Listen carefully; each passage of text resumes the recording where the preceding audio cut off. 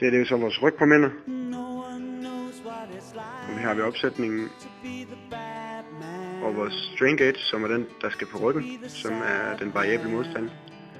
Det så bliver bøjet, så efter 6 sekunder, så vil vores bosser her larme 2 sekunder, og I kan følge antal sekunder, der går på LED-lysene her.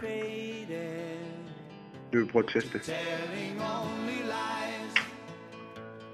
Så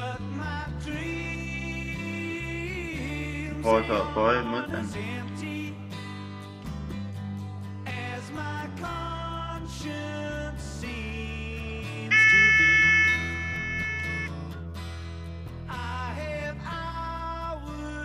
Og jeg afbryder så igen. Ja.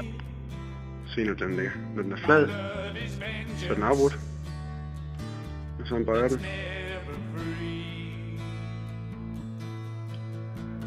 Den, så kører den igen.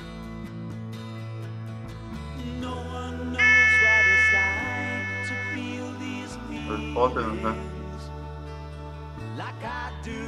starter den så forfra hver gang, at den når. Den er så talt til 9, så starter den forfra. Indtil man så igen retter ryggen op. Så, så er det ryggen. Ikke mere. But my dreams, they aren't as empty as my conscience seems to be.